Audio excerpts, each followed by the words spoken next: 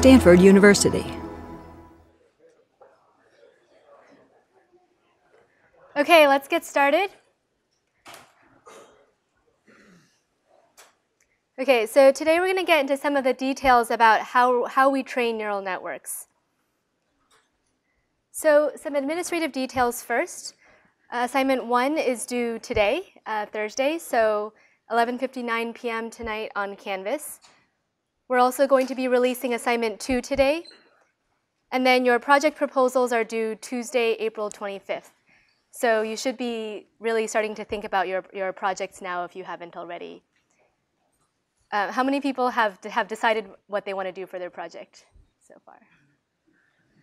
Okay, so some, some people. So uh, yeah, everyone else, um, the, you can go to TA office hours if you, if you want uh, suggestions and, and um, bounce ideas off of, off of TAs. Uh, we also have a list of of projects that other people have proposed. Uh, some people usually affiliated with Stanford, so on Piazza, so you can take a look at those um, for additional ideas.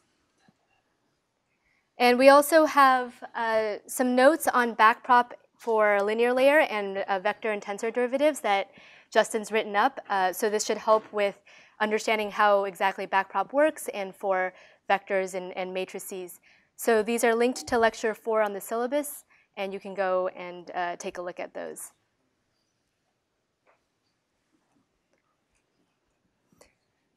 Okay, so where we are now, uh, we've talked about how to express a function in terms of an, a computational graph.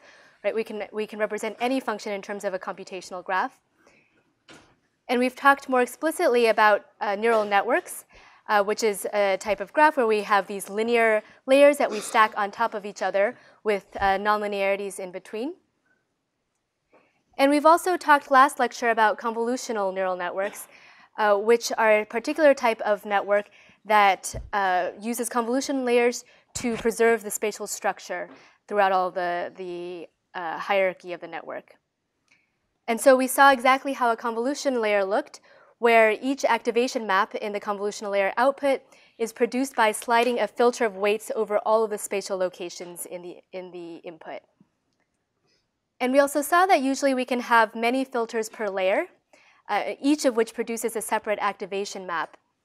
Uh, and so what we can get is from an input, right, with a certain depth, we'll get an uh, activation map output, which is, um, has some spatial dimension that's preserved, as well as the depth is the total number of filters that we have in that layer.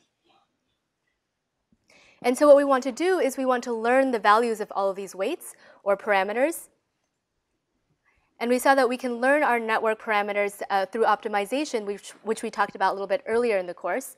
Right? And so we want to get to a point in the loss landscape that produces a low loss. And we can do this by taking steps in the direction of the negative gradient. And so the whole process we actually call a mini batch stochastic gradient descent, where the steps are that we continuously we sample a batch of data, we forward prop it through our computational graph or, or our neural network. We get the loss at the end. We back prop through our network to calculate the gradients, and then we update the parameters uh, or the weights in our network using this gradient. Okay, so now for uh, the next couple of lectures, we're going to talk about some of the details involved in training neural networks. And so this involves things like how do we set up our neural network at the beginning, uh, which activation functions that we choose, how do we pre-process the data, weight initialization, regularization, gradient checking. Uh, we'll also talk, talk about training dynamics. So how do we babysit the learning process? Uh, how do we do choose how we do parameter updates, specific parameter update rules, and how do we do hyperparameter optimization to choose the best hyperparameters. And then we'll also talk about uh, evaluation and uh, model ensembles.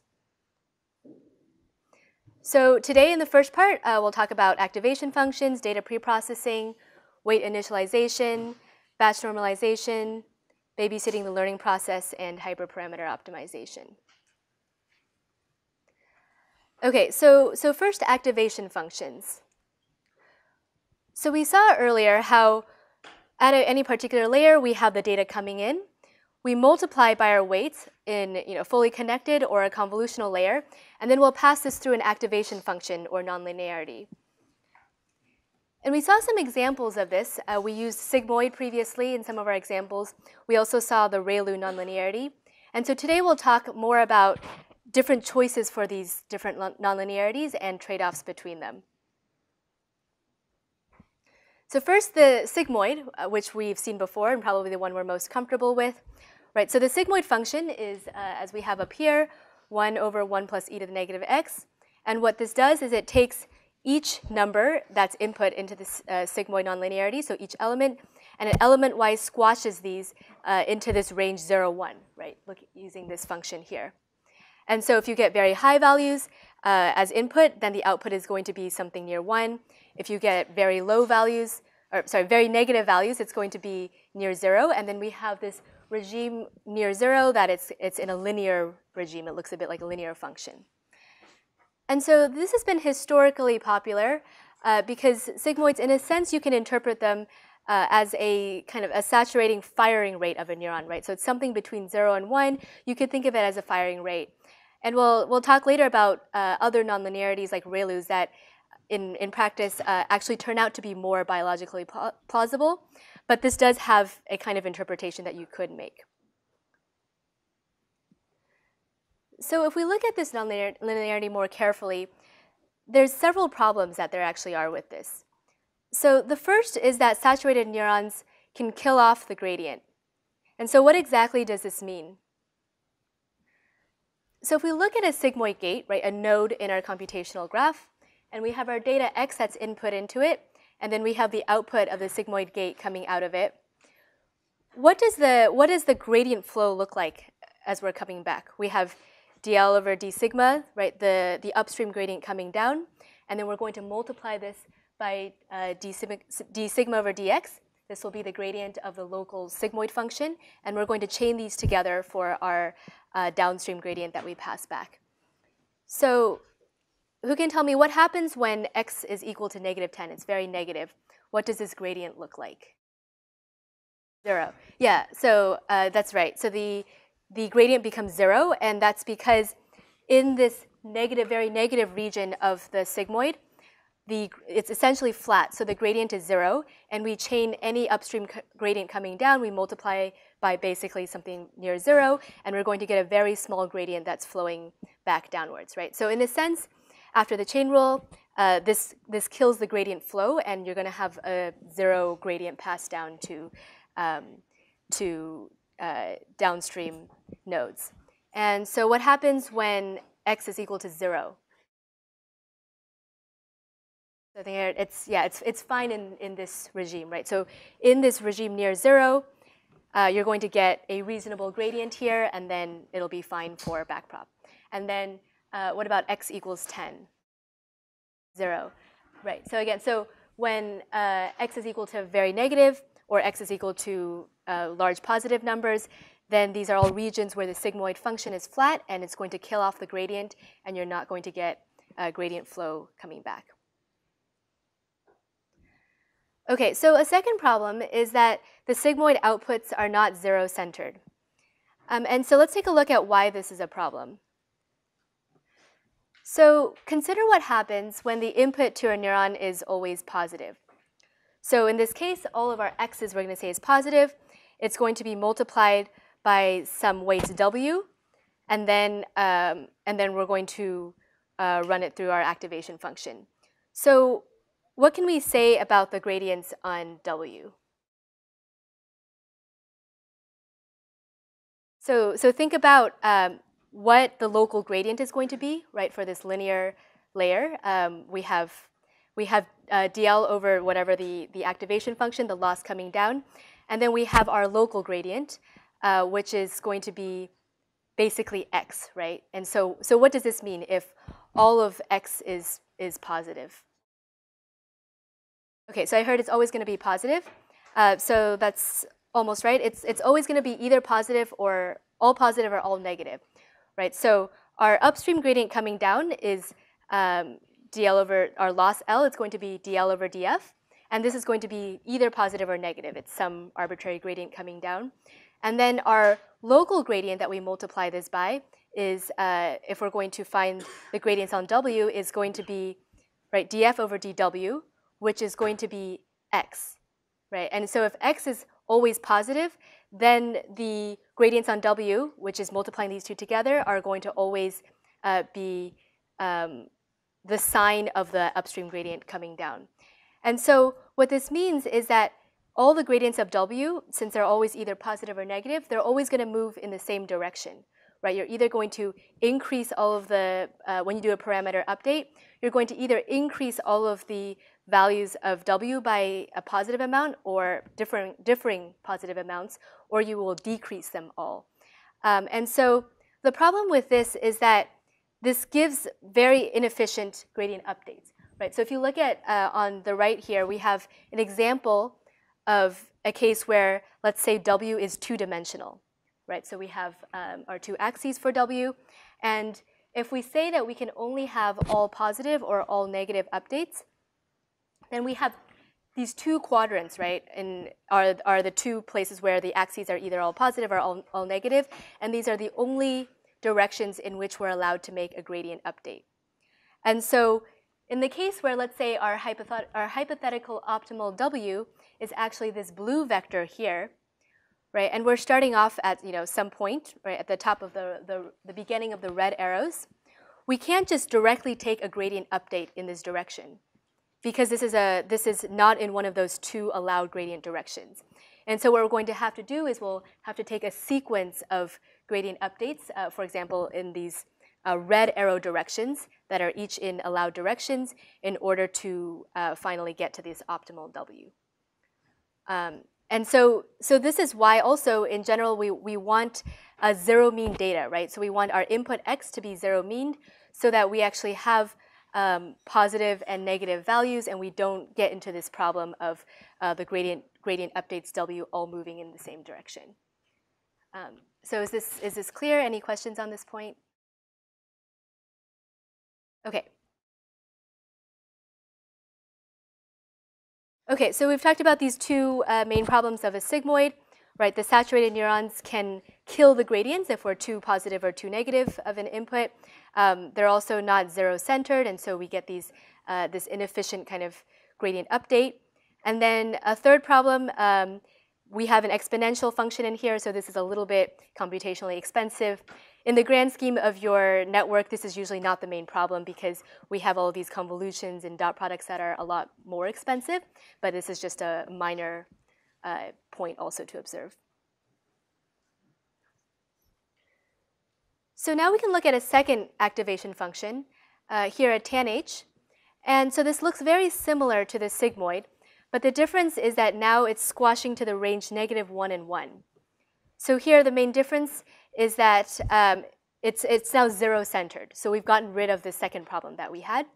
Uh, it still kills the gradients, however, uh, when it's saturated, right? So you still have these uh, regimes where the, where the gradient is essentially flat and um, you're going to kill the gradient flow. So this is, this is a bit better than the sigmoid, but it still has some problems. Okay, so now let's look at the ReLU activation function. And this is one that we saw uh, in our examples last lecture when we, talk, when we were talking about the convolutional neural network, and we saw that we interspersed ReLU nonlinearities between many of the convolutional layers.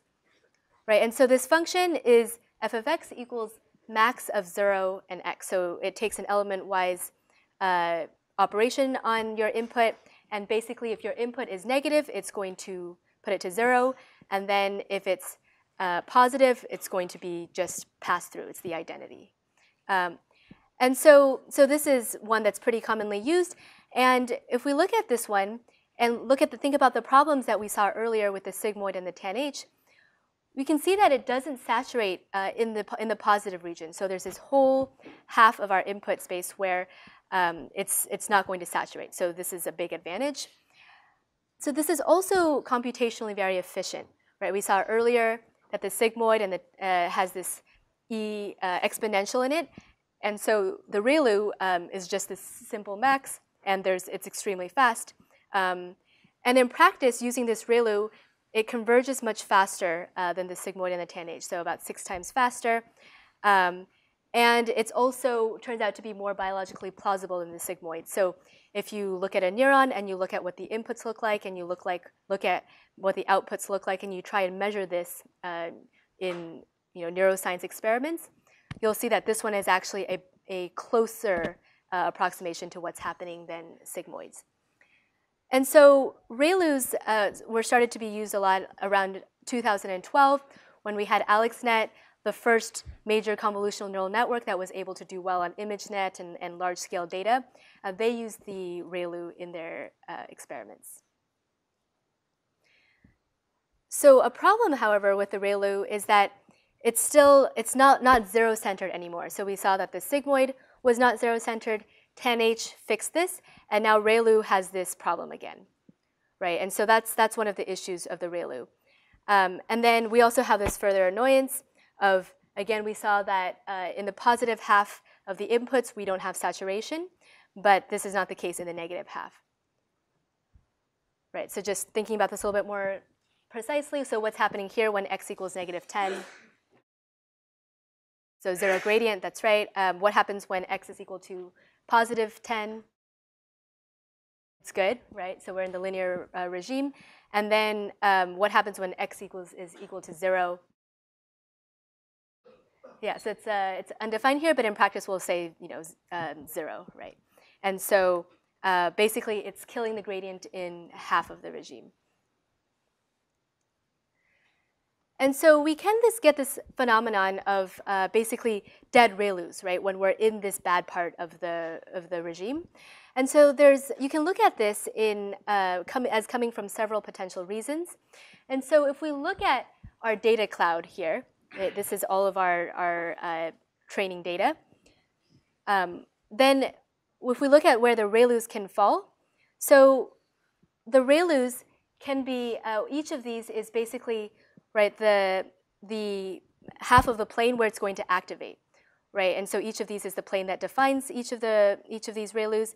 And we can see that you can have these dead ReLUs that are basically off of the data cloud, and in, in this case, it will uh, never activate and, and never update, as compared to an active ReLU where some of the data is going to be uh, positive and pass through, and, and some won't be.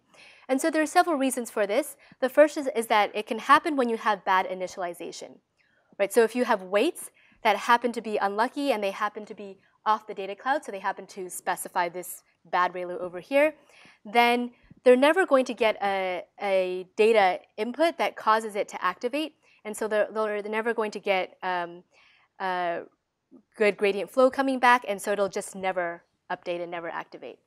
Um, what's a more common case is when your learning rate is too high. And so in this case, you started off with an OK ReLU, but because you're making these huge updates, the, the, the weights jump around, and then your ReLU unit, in a sense, gets knocked off of the data manifold, right? And so, so this happens through training. So it was fine at the beginning, and then at some point it became bad and, and it uh, died. And so if in practice, if you freeze a network that you've trained and you pass the data through, you can see that actually as much as uh, 10 to 20% of the network is these dead ReLUs. And so, um, you know, that's, that's a problem, but and also most networks do have this type of problem when you use ReLUs. Some of them will be dead, and uh, in practice, you know, people look into this. Uh, in, it's a research problem, but it's, it's still doing okay for training networks. Yeah, is that a question?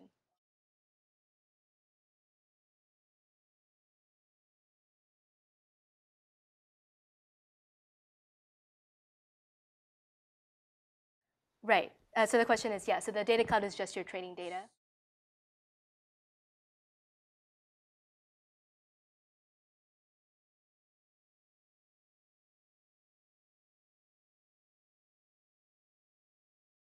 Um, okay, so the question is when, how do you tell when the ReLU is going to be dead or not uh, with respect to the data cloud?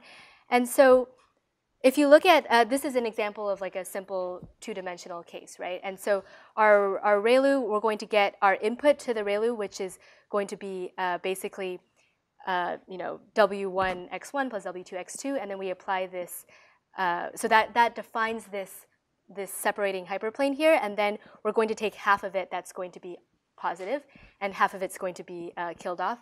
And so, um, yeah, so you, you know, you just it's whatever the weights happen to be, and where the data happens to be is where these uh, where these hyperplanes fall. Um, and so, so yeah, so just throughout the course of training, some of your ReLUs will uh, be in different places with respect to the data cloud. Uh, oh, question.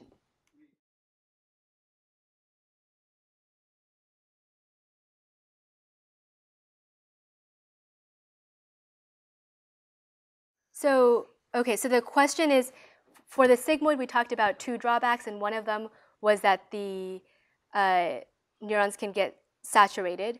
So let's go back to the sigmoid here. And the question was, this is not the case when all of your inputs are positive. So when, when all of your inputs are positive, they're all going to be coming in right in this zero plus region here. And so you, you can still get a saturating neuron uh, because the you see uh, up in this positive regime, it also plateaus at one.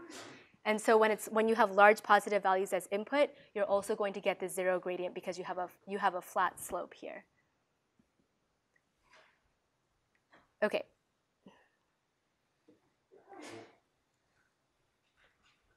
Okay, so in practice, uh, people also like to initialize ReLUs with slightly positive biases in order to increase the likelihood of it being active at initialization and to get some updates, right? And so um, this basically just biases towards more ReLUs firing at the beginning. And in practice, some say that it helps, some say that it doesn't. Um, generally, uh, people don't always use this. It's, yeah, a lot of times people just uh, initialize it with zero biases still.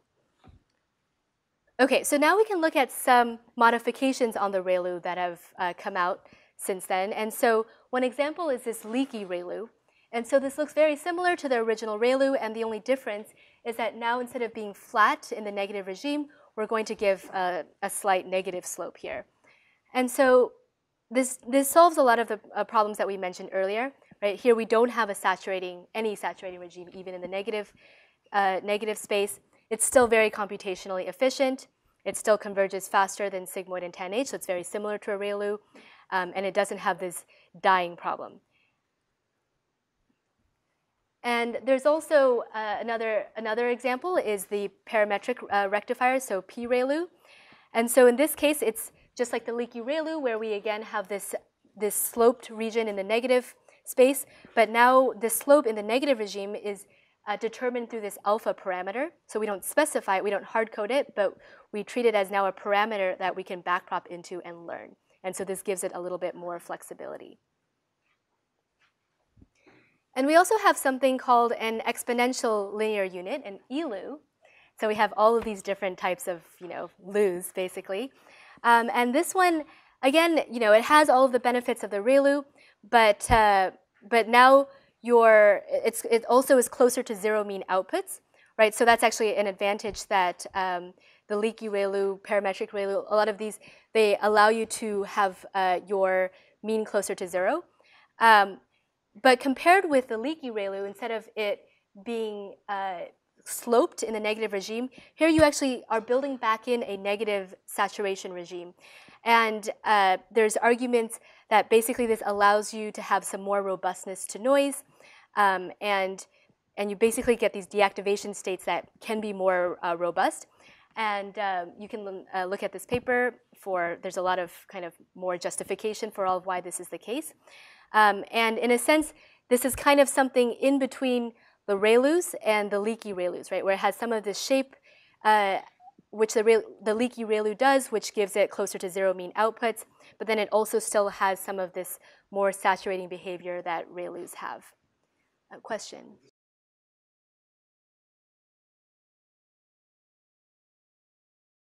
So whether this uh, parameter alpha is going to be specific for each uh, neuron. So I believe it is often specified, but I actually can't remember exactly. So you can uh, look in the paper for exactly yeah how this is this is defined. Um, but um, yeah, so I believe it's this function is basically very carefully designed in order to have um, nice desirable properties. Um, okay, so there's basically all of these kinds of variants on the ReLU right? And so you can see that, you know, all of these, it's kind of, you can argue that each one may have certain benefits, certain drawbacks. Um, in practice, people just want to run experiments on all of them and see empirically what works better, try and justify it, and, and come up with new ones. Um, but they're all different things that are being experimented with. And so uh, let's just um, mention one, one more. Uh, this is the maxout neuron. And so this one looks a little bit different in that it doesn't have the same form as the others did of taking your basic you know, dot product and then putting this element-wise nonlinearity in front of it. Um, instead, it looks like this, this max of uh, w dot product with x plus b, and a second set of weights, w2 um, dot product with x plus, plus b2. And so what this does is this is taking the max of these two um, these two functions in a sense, right? And so what it does is it kind of generalizes the ReLU and the leaky ReLU because you're just you're taking the max over these two um, two uh, linear functions. And so what this gives us, um, it's again, uh, you're operating in a linear regime. It doesn't saturate and it doesn't die. Uh, the problem is that here you are doubling the number of parameters per neuron, right? So each neuron now, now has this original set of, of weights W, but it now it has W1 and W2. So you have twice these. Um, so in practice, when we look at all of these activation functions, kind of a good general rule of thumb is use ReLU. Uh, this is the most standard one that generally just works well. Um, and uh, you know, you, you do want to be careful in general with your learning rates to adjust them based, uh, see how things do. We'll, we'll talk more about adjusting learning rates later in this lecture. Uh, but you can also try out some of these fancier uh, activation functions, the leaky ReLU, maxout, ELU, ELU. Um, but you know, these are generally, they're, they're still kind of uh, more experimental, so you can see how they work for your problem. Um, you can also try out TANH, uh, but probably some of these, these ReLU and ReLU variants are going to be better. And in general, uh, don't use sigmoid. This is, this is one of the earliest original activation functions, and ReLU and these other variants um, have generally worked better since then. Okay, so now let's talk a little bit about data preprocessing, right? So the activation function, we designed this as part of our network. Now we want to train the network, and we have our input data that we want to start training from. So generally, we want to always pre-process the data. And this is something that you've probably seen before in uh, machine learning classes if you've taken those. And some standard types of pre-processing are you take your original data, and you want to zero mean them, and then you probably want to also um, normalize them, right? So uh, normalized by this uh, standard deviation. And so, so, so why do we want to do this? For zero centering, um, you can remember earlier that we talked about, right, when all of the inputs are positive, for example, then we get all of our gradients on the weights to be positive, and we get this uh, basically suboptimal uh, optimization. And in general, um, even if it's not you know, all zero or all negative, any sort of bias will still cause this type of uh, problem. And so uh, then in terms of normalizing the data, um, this is basically, you want to normalize data typically in machine learning problems, right, so that all features are in the same range and, and so that they contribute equally. Um, in practice, since for images, and which is what we're dealing with in, in this course here for the most part, um, we do do the zero centering, but in practice, we don't actually normalize the uh, pixel values so much because generally for images, right, at each location, you already have relatively comparable scale and distribution, and so we don't really need to normalize so much compared to, uh, you know, more general machine learning problems where you might have different features uh, that are very different and, and of very different scales. And in machine learning, you might also see um, more complicated things like PCA or whitening. Uh, but again, with images, uh, we typically just stick with the zero mean and we, we don't do the normalization and we also don't do some of these more uh, complicated pre-processing. Um, and one reason for this is generally with images, we don't really want to take all of our input, let's say pixel values, and project this onto a lower dimensional space of you know, new kinds of features that we're dealing with. We typically just want to apply convolutional networks spatially, right, and have our spatial structure over the original image yeah question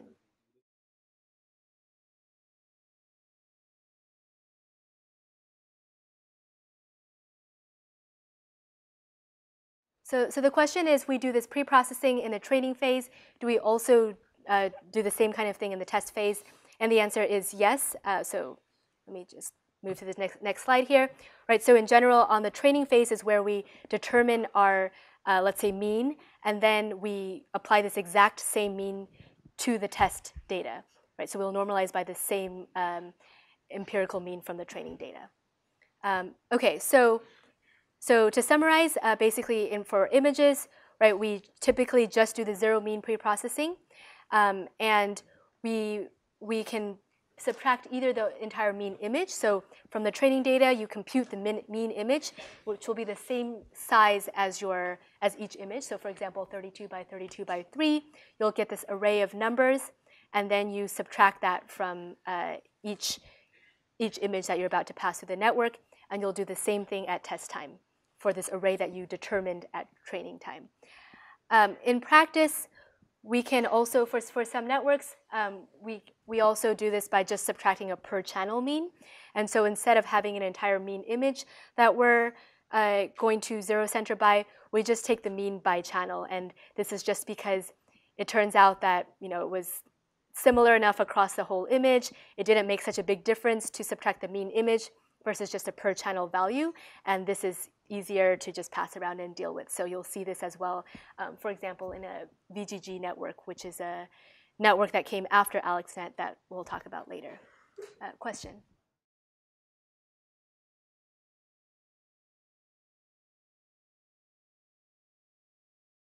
Okay, so uh, there are two questions. The first is, um, what's a channel in this case when, we're when we are subtracting a per channel mean?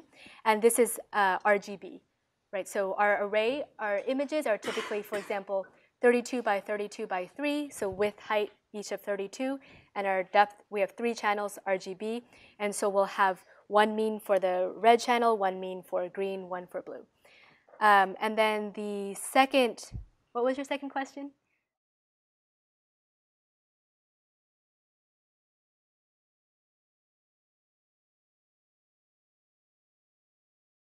Okay, so the question is when we're subtracting the mean image, what is the mean taken over? And the mean is taken over all of your training images, right? So you'll take all of your training images and just compute the, the, the mean of all of those. Does that make sense?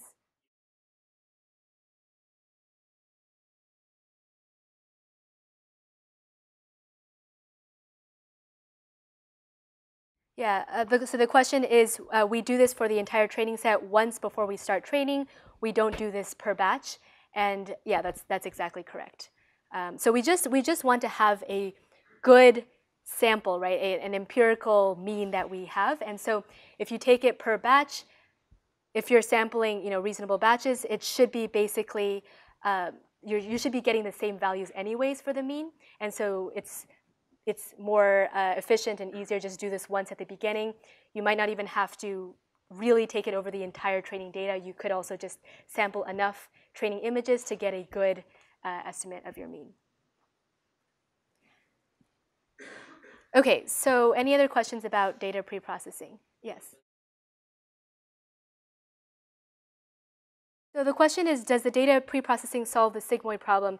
So the data preprocessing is, is uh, doing zero mean, right? And we talked about how sigmoid, we want to have zero mean. And so it, it does uh, solve this for the first layer that we pass it through, right? So now our inputs to the first layer of our network is going to be zero mean. But we'll see later on that um, we're actually going to have this problem come up in much worse and greater form as we have deep networks. You're going to get a lot of uh, non-zero mean problems later on. And so in this case, um, this is not going to be sufficient. So this only helps at the first layer of your network. Okay, so now let's talk about how do we want to initialize the weights of our network. Right, so we have, let's say, our, a standard uh, two-layer neural network, and we have all of these weights that we want to learn, but we have to start them with some value right? And, and, and then we're going to update them using our gradient updates from there. So first question, uh, what happens when we use an initialization of w equals 0? We just set all of the uh, parameters to be 0. What's the problem with this? So, uh, sorry, say that again. So uh, I heard all the neurons are going to be dead. No updates ever. So, so uh, not not exactly. Um, so, so part of that is correct in that all the neurons will do the same thing, right? So they might not all be dead, depending on your input value. You, I mean, you you could be in any regime of your neurons, so they might not be dead. But um, the key thing is that they will all do the same thing, right? So since your weights are zero, given an input, every neuron is going to be have the uh, same operation basically on top of your inputs. Um, and so since they're all going to output the same thing, they're also all going to get the same gradient, right? And so because of that, they're all going to update in the same way. And now you're just going to get all neurons that are exactly the same, right? Which is not what you want. You want the neurons to learn different things. And so that's, that's the problem when you initialize everything uh, equally. And there's basically no symmetry breaking here. So what's the first, yeah, question?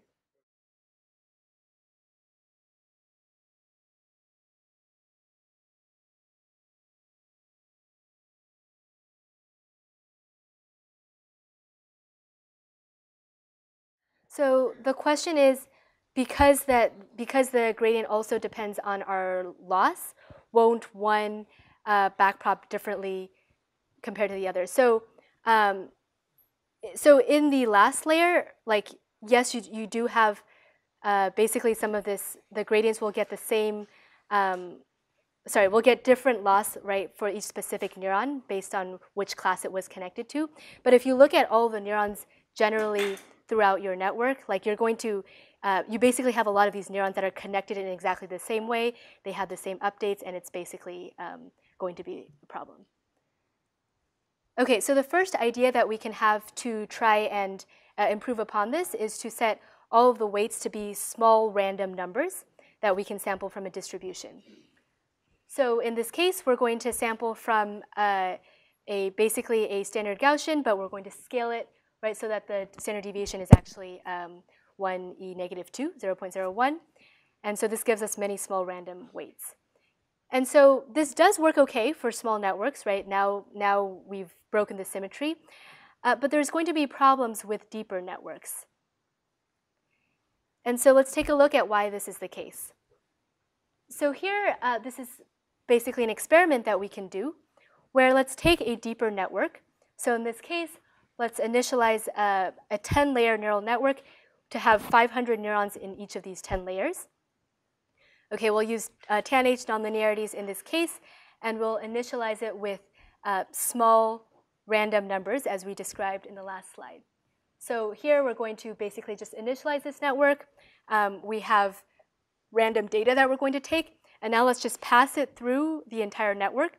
And at each layer, look at the statistics of the activations that come out of that, uh, that layer. And so what we'll see, this is probably a little bit hard to read up top, but um, if we compute the mean and the standard deviations uh, at each layer, we'll see that at the first, uh, first layer, this is a, uh, it, the means are always around zero. There's a funny sound in here. Um, interesting. Okay, well, that was fixed. um, so if we look at we, if we look at the outputs from here, right, the mean is always going to be around zero, um, which makes sense, right? So if we look here, um, let's see, if we take this, we looked at the uh, dot product of x with w, and then we took the non tanh nonlinearity, and then we stored these values. And so because the tanh is uh, centered around zero, this will make sense. Um, and then the standard deviation, however, shrinks and it quickly collapses to zero, right? And so if we're plotting this, um, here this second row of plots here is showing the, uh, the mean and the standard deviations over time per layer. And then in the bottom, the sequence of plots is showing for each of our layers, what's the distribution of the activations that we have. And so we can see that at the first layer, we still have a, we have a reasonable Gaussian looking thing. It's a nice distribution. But the problem is that as we multiply by this W, these small numbers at each layer, this quickly shrinks and collapses all of these values, right, as we multiply this over and over again. And so by the end, we get all of these zeros, um, right, which is, which is not what we want, right? So we get all the activations become zero. And so now let's think about the backward pass. So if we do a backward pass now, assuming this was our forward pass, and now we want to compute our gradients. So first, uh, what does the gradients look like on the weights? Does anyone have a guess? So, okay, so if we think about this, um, we have our input values are very small at each layer, right? Uh, because they've all collapsed to this near zero. And then now at each layer, we have our upstream gradient flowing down. And then in order to get the uh, gradient on the weights, remember it's the our upstream gradient times our local gradient, which for this, this dot product, we're doing w times x, is just basically going to be x, which is our inputs, right? So it's again the similar kind of problem that we saw earlier, where now since, so here because x is small, our weights are getting a very small gradient and they're basically not updating. Right, so this is a way that you can uh, basically try and think about the effect of gradient flows through your networks, right? You can always think about what the, what the forward pass is doing, and then think about what's happening as you have gradient flows coming down and different types of inputs, what the effect of this actually is on our, on our weights and the gradients on them. Um, and so also, if now if we think about, right, what's the, uh, what's the, the gradient that's going to be flowing back from each layer as we're chaining all these gradients. Right, so this is going to be the flip thing where we have now the gradient flowing back is our upstream gradient times, in this case, the local gradient is W, right, on our input X. Um, and so, again, because this is the dot product. And so now actually going backwards at each layer, we're basically doing a multiplication of the upstream gradient by our weights in order to uh, get the next gradient flowing downwards. And so because here we're multiplying by w over and over again, you're getting basically the same phenomenon as we had in the forward pass, where everything is getting smaller and smaller, and now the gradient, uh, upstream gradients are collapsing to zero as well. Yeah, question?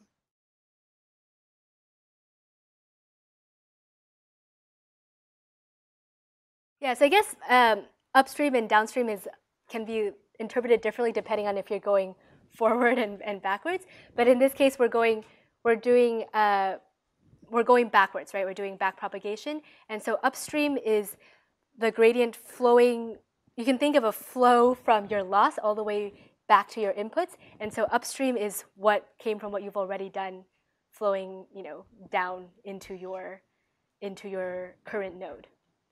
Right, so we're, we're flowing downwards, and what we get coming into the node through backprop is coming from upstream. Uh,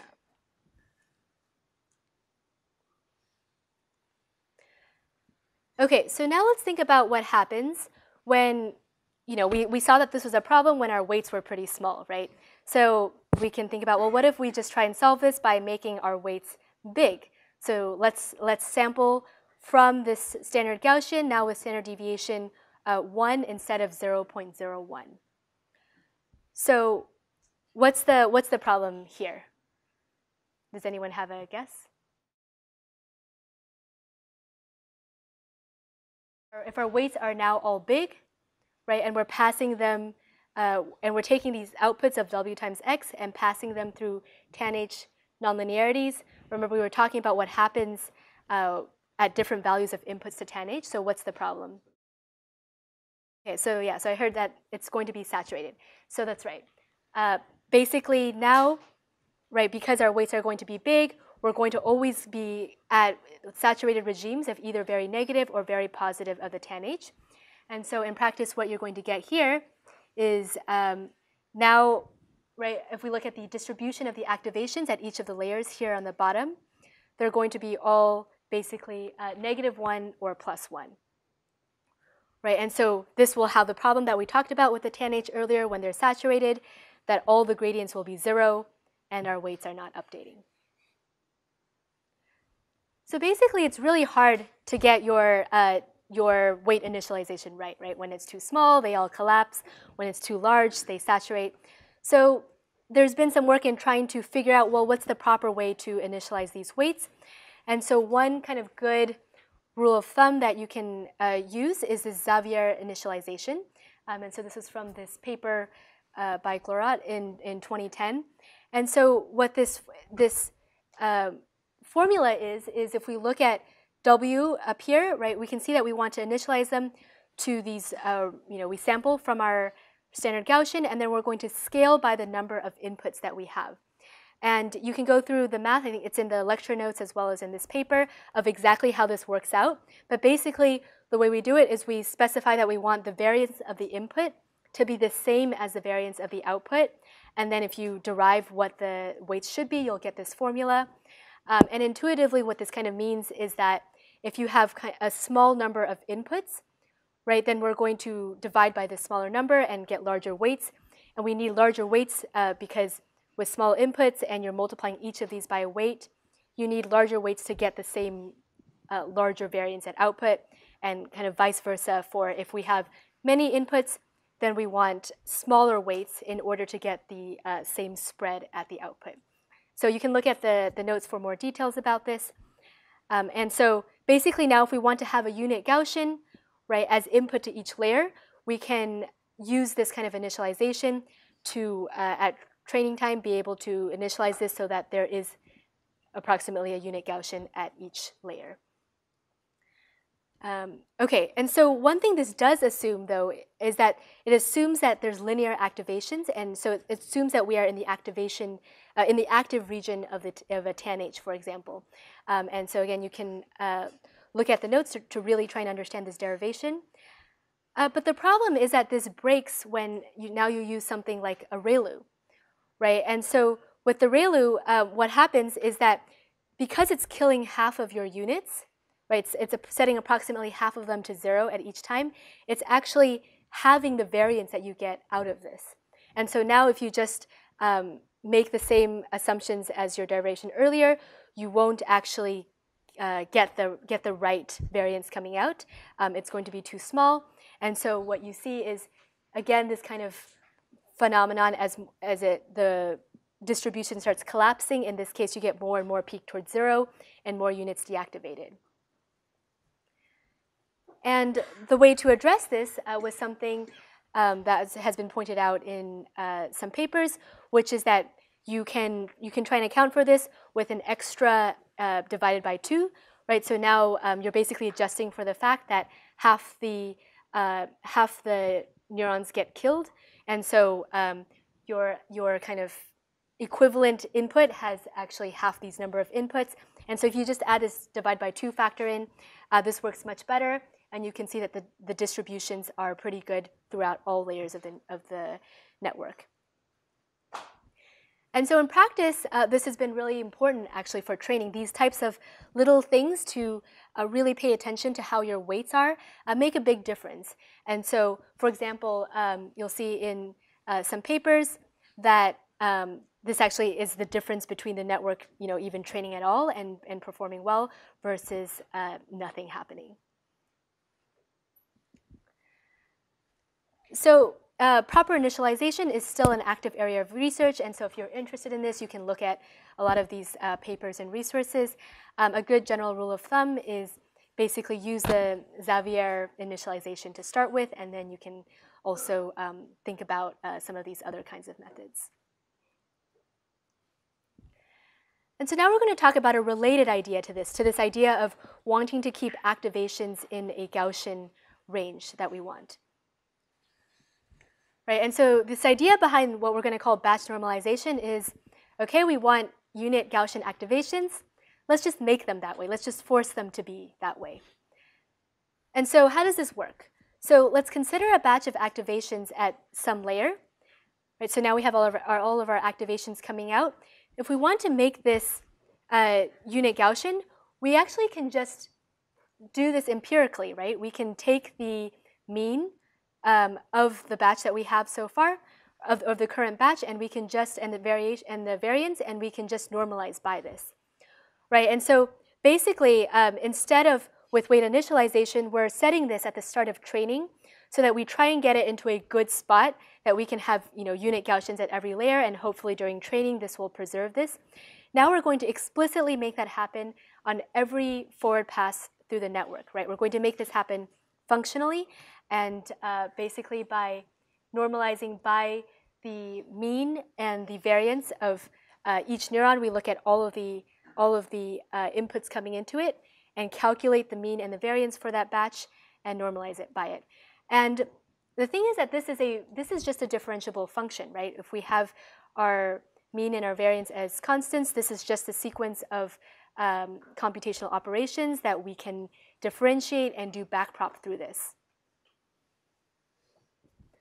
Um, okay, so yeah, so just as I was saying earlier, right, if we look at our input data and we think of this as we have n training examples in our current batch, and then each batch has a dimension d, we're going to compute the empirical mean and variance independently for each dimension, right? So each basically feature element. And we compute this across uh, our batch, our current mini batch that we have, and we normalize by this. And so this is usually inserted after fully connected or convolutional layers.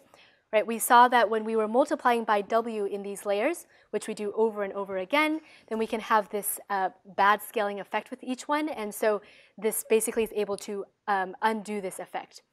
Right? And since we're, we're basically just scaling uh, by the inputs connected to each neuron, each activation, um, we can apply this the same way to fully connected and convolutional uh, layers. And the only difference is that um, with convolutional layers, we want to normalize not just, uh, not just across all the training examples um, and independently for each, each feature dimension, but we actually want to normalize jointly across both um, all, the, all, the, all the feature dimensions, all the spatial locations that we have in our activation map, as well as all of the uh, training examples. Um, and we do this because we want to obey the convolutional property and we want nearby locations to be normalized the same way, right? And so with a convolutional layer, we're basically going to have uh, one mean and one standard deviation per activation map that we have, and we're going to normalize by this across all of the examples in the batch. Um, and so this is something that uh, you guys are going to implement in your next homework. And so um, all of these details are explained very clearly in this paper um, from 2015. And so uh, this is a very useful useful uh, technique that you want to use a lot in practice. You want to have these batch normalization layers. And so um, you should uh, read this paper, go through all of the uh, derivations, and then um, also go through the derivations of how to compute the gradients uh, with given these uh, this normalization operation. Okay, so one thing that I just want to point out is that it's not clear that, you know, we're, we're doing this batch normalization right after every fully connected layer. And it's not clear that we necessarily want a unit Gaussian input to these tanh nonlinearities. Because what this is doing is this is constraining you to the linear regime of this nonlinearity. And we're not actually, you're trying to basically say, let's not have any of this saturation. But maybe a little bit of this is good, right? You, you want to be able to control what's, uh, how much saturation that you want to have. And so what the way that we address this when we're doing batch normalization is that we have our normalization operation. But then after that, we have this additional squashing and scaling operation. So we do our normalization, then we're going to scale by some uh, constant gamma, and then shift by another factor of beta, right? And so what this actually does is that this allows you to be able to recover uh, the identity function if you wanted to. So if the network wanted to, it could learn your scaling factor gamma to be just your variance. It could learn your beta to be your uh, mean. And in this case, you can, you can recover the identity mapping. It's as if you didn't have batch normalization. And so now you have the flexibility of doing um, kind of everything in between and making your, the network learning uh, how to make your tanh more or less saturated and how much to do so in order um, to, to have uh, you know, to have good training.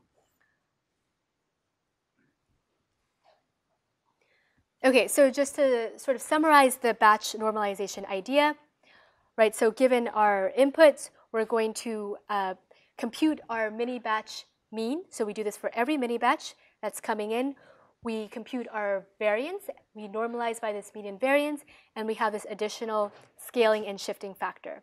And so this um, improves gradient flow through the network. Um, it's also more robust as a result. It, it uh, works for more range of learning rates and, and, different kinds of initialization. So people have seen that once you've put batch normalization in, it's just easier to train, and so that's why you should do this. Um, and then um, also one, one thing that I just want to point out is that you can also think of this as in a way also doing some regularization, right? And so because now the, at the output of each layer, um, each of these, these activations, uh, each of these outputs is an output of both your input x as well as the other examples in the batch that it happens to be sampled with, right? Because you're going to normalize each input data by the empirical mean over that batch. So because of that, it's no longer producing deterministic values for a given training example, and it's tying all of these uh, inputs in a batch together. And so this basically, because it's no longer deterministic, kind of jitters your representation of x a little bit and in a sense gives some sort of regularization effect. Yeah, question? Question is gamma and beta are learned parameters and yes.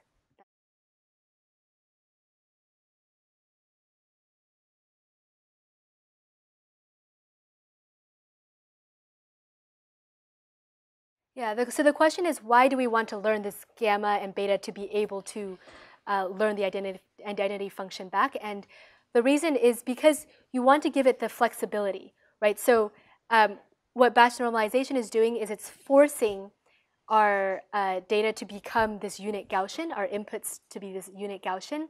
But even though in general this is a good idea, it's, it's not always that this is exactly the best thing to do right? And we saw in particular for something like a TANH, you might want to control some degree of saturation that you have. And so what this does is it gives you the flexibility of, of doing this exact like unit Gaussian normalization if it wants to, but also learning that maybe in this particular part of the network, maybe it's that's not the best thing to do. Maybe we want something still in this general idea, but slightly different, right? Slightly scaled or shifted. And so these parameters just give it that extra flexibility to learn that if it wants to. Um, and then if it, yeah, if the best thing to do is, is just uh, batch normalization, then it'll learn the right parameters for that. Yes. Um, yeah, so basically each neuron uh, output, right? So we have uh, output of a fully connected layer, we have W times X, and so we have the values of each of these these outputs, and then we're going to apply batch norm normalization separately to each of these neurons. Question?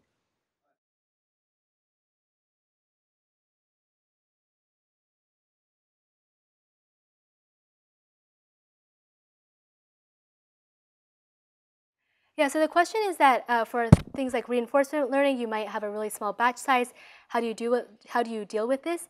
Um, so in, in practice, I guess batch normalization has been used a lot for like for standard convolutional neural networks, and there's uh, there's actually papers on how do we want to do normalization for uh, different kinds of recurrent networks or you know some of these networks that might also be in uh, reinforcement learning. And so there's different considerations that you might want to think of there and um, this is still an active area of research. There's uh, papers on this and we might also talk about some of this more later. Um, but for a typical convolutional neural network, this generally works fine. And then if you have a smaller batch size, um, maybe this becomes a little bit less accurate, uh, but you still get kind of the same effect.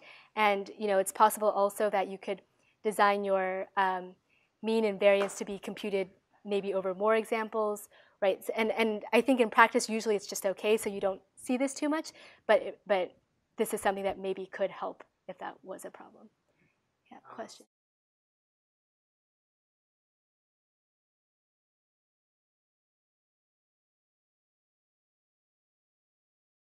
So the question is, if we force the inputs to be Gaussian, do we lose the structure, right? So, um, so no, in a sense that you can think of like if you had all your features distributed as a Gaussian, for example, if, even if you were just doing data pre-processing, this Gaussian is not losing you any structure, right? All the it's just shifting and scaling your data into a regime that is that works well for the operations that you're going to perform on it.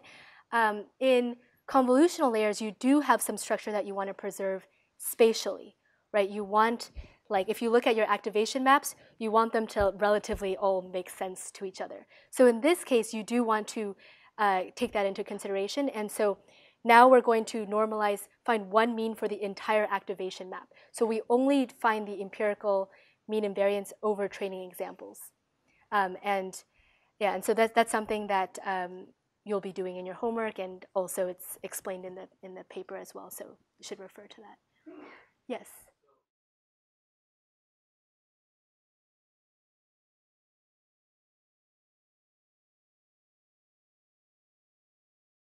So the question is, uh, are we normalizing the weights so that they become Gaussian? So if I understand your question correctly, um, then the answer is uh, we're normalizing the inputs to each layer. So we're not, we're, not, we're not changing the weights in this process.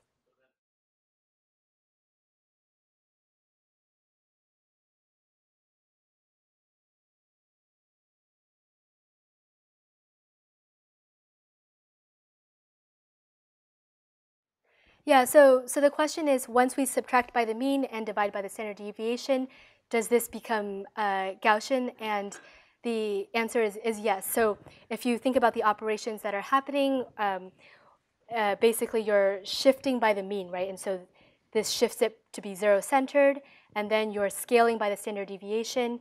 Um, this now transforms this uh, into a unit Gaussian. And so um, if you if you want to uh, look more into that, I think you can look at. There's a lot of um, machine learning explanations that go into exactly you know what this visualizing what this operation is doing. But yeah, this basically takes your data and turns it into a, a Gaussian distribution. Okay, so yeah, uh, question.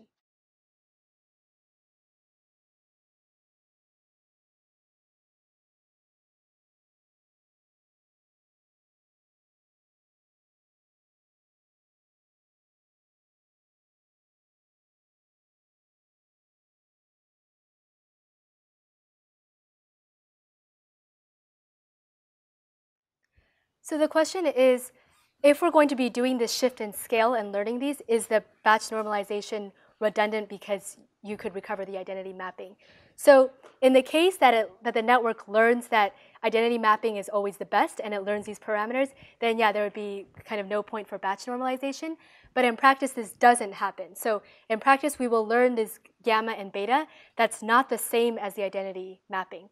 So it will shift and scale by some amount, but not the amount that's going to give you an identity mapping. And so what you get is you still get this uh, batch normalization effect. Right, so having this identity mapping there, um, I'm only putting this here to say that in the extreme, it could learn the identity mapping, but in practice, it doesn't.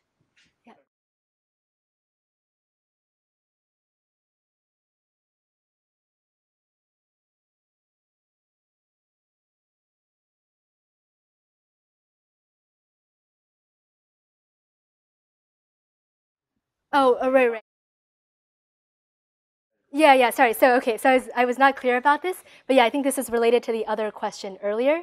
Um, that, yeah, so when we're doing this, we're actually getting zero mean and unit Gaussian, which puts this into a nice shape, but it doesn't uh, have to actually be a Gaussian. Um, so, yeah, I mean, ideally, if we're looking at like inputs coming in as, you know, um, sort of approximately Gaussian, we would like it to have this kind of effect, but yeah, in practice it doesn't um, have to be. Um, okay, so okay, so the last thing I just want to mention about this is that uh, so at test time, um, the batch normalization layer, we now take the uh, empirical mean and um, and uh, variance from the training data. So we don't recompute this as test time. We just estimate this at training time, for example, using running averages. And then, um, and then we're going to use this as at test time. So we're just going to scale by that. Okay, so now I'm going to move on to uh, babysitting the learning process, right? So now we've defined our network architecture, and we'll talk about how do we monitor training um, and, and uh, how do we adjust hyperparameters as we go to get um, good learning results. So as always, the, so the first step we want to do is we want to pre-process the data, right? So we, we want to zero mean the data as we talked about earlier. Then we want to choose the architecture. And so here we um, are starting with uh, one hidden layer of uh, 50 neurons, for example. Um, but we basically, we can pick any architecture that we want to start with. And then the first thing that we want to do is we initialize our network. We do a forward pass through it, right? And we want to make sure that our loss is reasonable. So we talked about this several uh, lectures ago, where um, we have a basically a let's say we have a softmax classifier that we have here. We know what our loss should be when our weights are small and we have generally a diffuse distribution. Um, then we want it to be the softmax max classifier loss is going to be your negative log likelihood, which if we have 10 classes, it'll be something like negative log of 1 over 10, which here is uh, around 2.3. And so we want to make sure that our loss is, is what we expect it to be, right? So this is a, a good sanity check that we want um, to always, always do. So now once we've seen that our original loss is good, now we want to, um, uh, so, so first we want to do this having zero regularization, right? So we, when we disable the regularization, now our only loss term is this data loss, which is going to give 2.3 here. And so here, uh, now we want to crank up the regularization. And uh, when we do that, we want to see that our loss goes up, right? Because we've added this additional regularization term. So this is a good next step that you can do for your sanity check. Um, and then now we can start training. So, so now if we start trying to train, um, what we do is, a good way to do this is to start off with a very small amount of data right? Because if you have just a very small training set, you should be able to overfit this very well and get very good training loss on here. Um, and so in this case, uh, we want to turn off our regularization again and just see if we can make the loss go down to zero. And so we can see how our loss is changing as we uh, have all these epochs. We compute our loss at each uh, epoch, and we want to see this go all the way down to zero right? And here we can see that also our training accuracy is going all the way up to one, and this makes sense, right? If you have a very small number of data, you should be able to um, overfit this perfectly. Okay, so now once you've done that, these are all sanity checks. Now you can start really trying to train. So now you can take your full training data and now start with a small amount of regularization, right? And let's first figure out what's a good learning rate. So learning rate is one of the most important hyperparameters, and it's something that you, that you want to adjust first. So, so you want to try some value of learning rate. And here I've tried 1 e negative 6, and you can see that the loss is barely changing. Right? And so the reason this is barely changing is usually because your learning rate is too small. Right? So when it's too small, your gradient updates are not big enough, and your cost is uh, basically about the same. Um, okay, so one thing that uh, I want to point out here is that we can notice that even though our loss was barely changing, the training and the validation accuracy jumped up to 20% very quickly. And so does anyone have any idea for why this might be the case? Why, so remember we have a softmax function and our loss didn't really change, but our, but our uh, accuracy improved a lot. Okay, so the reason for this is that uh, here the probabilities are still pretty diffuse, right? So our loss term is still pretty similar. But um, when we shift all of these probabilities slightly in the right direction, because we're learning, right? Our weights are changing in the right direction. Now um, the accuracy all of a sudden can jump because we're taking the maximum correct value, and so um, we're going to get a big jump in accuracy, even though our loss is still relatively diffuse. Okay, so now if we try another learning rate, now here I'm jumping in the other extreme, picking a very big learning rate, 1e negative 6. What's happening is that our cost is now giving us nans. And when you have nans, what this usually means is that uh, basically your cost exploded. And so the, the reason for that is typically that your learning rate was too high. so then you can adjust your learning rate down again. Here I can see that for, you know, trying 3 e to the negative 3, the cost is still exploding. So usually this, the rough range for learning rates that we want to look at is between 1e negative 3 and 1e negative 5. And this is the rough range that we want to be uh, cross-validating in between. So you want to try out values in this range, and depending on whether your loss is too slow or too small or whether it's too large, uh, adjust it based on this. And so how do we exactly pick these hyperparameters, right? Uh, do hyperparameter op optimization and pick the best values of all of these hyperparameters. So the strategy that we're going to use is for any hyperparameter, for example, learning rate, to do cross-validation, right? So cross-validation is training on your training set and then uh, evaluating on a validation set. How well did this hyperparameter do? Something that you guys have already done in your assignment. And so typically we want to do this in stages. And so we can do first a coarse stage where we pick values pretty spread out apart. And then we learn for only a few epochs. And with only a few epochs, you can already get a pretty good sense of which hyperparameters are, uh, which values are good or not, right? You can quickly see that it's a nan, or you can see that nothing is happening, and you can adjust accordingly. So typically once you do that, then you can see what sort of a a pretty good range and the range that you want to now do finer uh, sampling of values in. And so this is the second stage where now you might want to uh, run this for a longer time and do a finer search over that region. Uh, and one, one tip for um, detecting explosions like NANs, you can have in your training loop, right, sample some hyperparameter, um, start training, and then look at your cost uh, at, at every iteration or every epoch.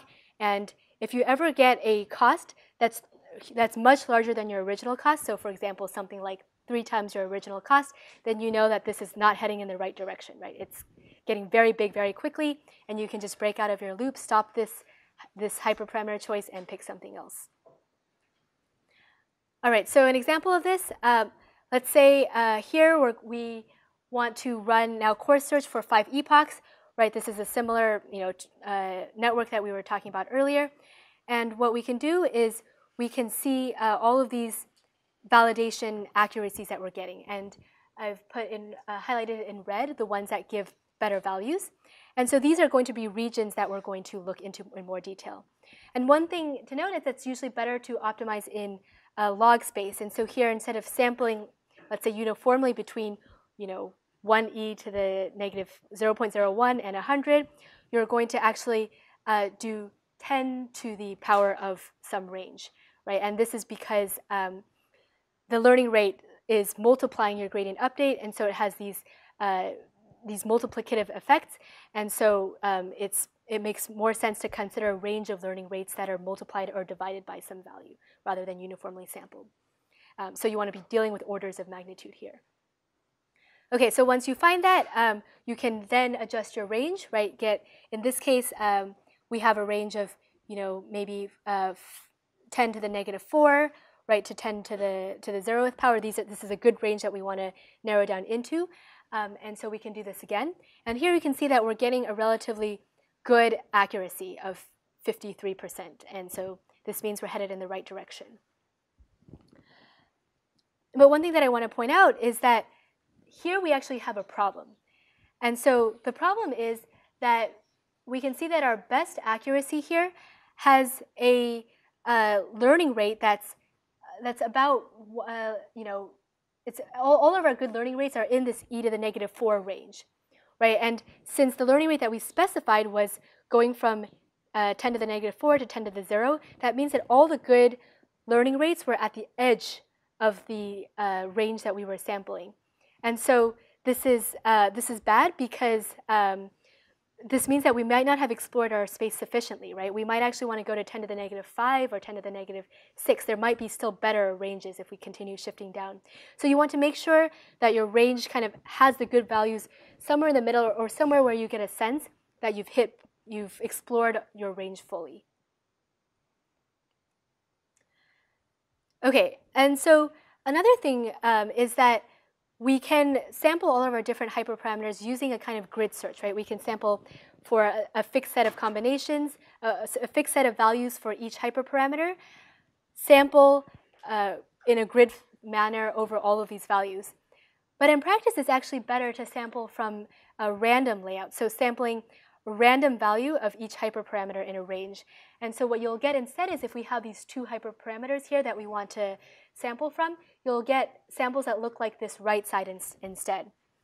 And the reason for this is that if a function is really sort of more, more a function of one variable than in another, uh, which is usually true, usually we have a little bit more, a lower effective dimensionality than we actually have, then you're going to get many more samples of the important variable that you have, right? You're going to be able to see this shape um, in this green function that I've drawn on top, showing where the good values are, um, compared to if you just did a grid, a grid layout where you know, we were only able to sample three values here and you missed where were the good regions. Right, and so basically we'll get much more useful signal overall since we have more samples of different values of the important variable. Um, and so hyperparameters to play with, right, we've talked about learning rate, uh, things like different types of uh, decay schedules, update types, regularization, um, also your network architecture, so the number of hidden units, the depth, all of these are hyperparameters that you can optimize over. And we've talked about some of these, but we'll keep talking about more of these in the next lecture. And so you can think of this as kind of, you know, if you're basically tuning all the knobs, right, of some uh, of some uh, turntable where you're, you're a neural networks practitioner, you can think of the music that's output is the loss function that you want, and you want to adjust everything appropriately to get the kind of output that you want. Right? So this is really kind of an art that you're, that you're doing. And in practice, you're going to uh, do a lot of hyperparameter optimization, a lot of cross-validation. And so you know, in order to get numbers, people will run cross-validation over tons of hyperparameters, monitor all of them, see which ones are doing better, which ones are doing worse. Here we have all of these loss curves. Uh, pick the right ones, readjust, and keep going through this process. Um, and so, as I mentioned earlier, right, as you're monitoring each of these loss curves, learning rate is an important one, but you, you'll get a sense for how different learning rates, which learning rates are good and bad. So you'll see that if you have a very high exploding one, right, this is uh, your loss explodes, then your learning rate is too high. If it's too kind of linear and too flat, you'll see that it's too low. Uh, it's, it's not changing enough. And if you get um, something that looks like there's a steep change but then a plateau, this is also an indicator of it being maybe too high because in this case, um, you, you're taking too large jumps and you're not able to settle well into your uh, local optimum. And so a good learning rate usually ends up looking something like this, where you have a relatively steep curve, but then it's continuing to go down. And then you might keep adjusting your learning rate from there. And so this is something that you're, you'll see um, through practice. Okay, and just, uh, I think we're very close to the end, so just one last thing that I uh, want to point out is that um, in case you ever see learning rate uh, loss curves where it's, it's sorry, if you ever see loss curves where it's flat for a while and then starts trading all of a sudden, um, a potential reason could be bad initialization. So in this case, your gradients are not really flowing too well at the beginning, uh, so nothing's really learning, and then at some point it just happens to adjust in the right way such that it tips over and, and things just start trading, right? And so um, there's a lot of uh, experience at looking at these and seeing what's wrong that you'll get over time. Um, and so you'll, you'll usually want to monitor your and visualize your accuracy, right? Your, uh, if you have a big gap between your training uh, accuracy and your validation accuracy, it usually means that you might have overfitting and you might want to increase your regularization strength. If you have no gap, you might uh, want to increase your model capacity because you, you haven't overfit yet. You could potentially increase it more. And in general, we also want to track the updates, the ratio of our, of our weight updates to our weight magnitudes, right? So we can just take the norm of our, um, of our parameters that we have to get a sense for how, lar how large they are. And when we have our update size, we can also take the norm of that, get a sense for how large that, that is. And we want this ratio to be somewhere around 0.001. There's, there's a lot of uh, variance in this range, so you don't have to be exactly on this. But it's just a sense of you don't want your updates to be too large compared to your value or too small, right? You don't want it to dominate or to have no effect. And so this is just something that can help debug what might be a problem. Okay, so in summary, uh, today we've looked at activation functions, data preprocessing, weight initialization, batch norm, babysitting the learning process, and hyperparameter optimization. Um, these are kind of the takeaways for each that you guys should keep in mind. Use ReLUs, subtract the mean, use Xavier initialization, use batch norm, and sample hyperparameters randomly. And next time we'll talk, we'll continue to talk about uh, training neural networks uh, with all of these different topics.